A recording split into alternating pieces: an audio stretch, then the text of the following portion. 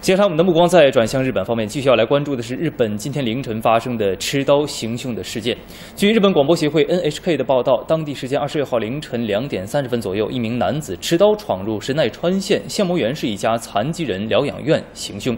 目前已经是导致十五人死亡，四十多人受伤。报道说呢，该男子已经是于当地时间三点左右向警方自首。据当地警方的消息，持刀行凶的男子现年是二十六岁，曾经是遭袭疗养院的工作人人员。目前警方正在就其行凶的动机等等进行相关的调查。据朝日新闻的报道，警方称这名男子在自首之后供称想要把所有残疾人都从世界上除掉。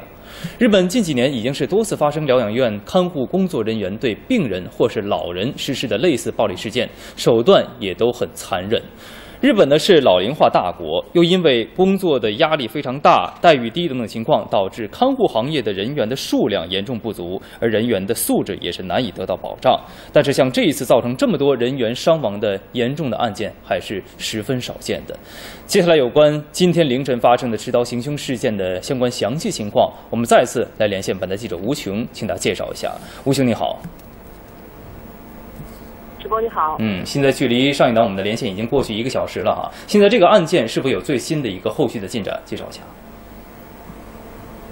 好的，那么在今天凌晨日本时间两点半呢，日本一名男子是深夜闯入了神奈川县相模原市的一家残疾人疗养院内，持刀行凶。目前呢是已经造成了至少十五人死亡，四十五人重伤。那么据日本媒体的报道呢，这名男子的年龄呢是二十六岁，他曾经是这个残疾人疗养院的全雇全雇员。那么他在手持刀具砍死砍伤多人之后呢，曾经是高喊说是他做的，那么并向警方自首。该男子随后呢被日本警方逮捕。有日本媒体报道，这名男子是因为被这家疗养院辞退而感到不满，从而对这家疗养院甚至是这家疗养院的病人都感到怨恨所为。目前日本警方表示正在调查具体的行凶动机。呃，一位家在这家疗养院对面的当地居民呢，在接受日本 NHK 电视台的电话采访的时候介绍说，大约是在事件发生一个小时之后呢，也就是今天凌晨的三点半的时候，日本警方的大批的巡逻车、医院的救护车等呢是赶到了现场。这名男子呢是身穿一件黑色的 T 恤被押上了巡逻车。警方对当地居民表示说，因为现场比较危险，所以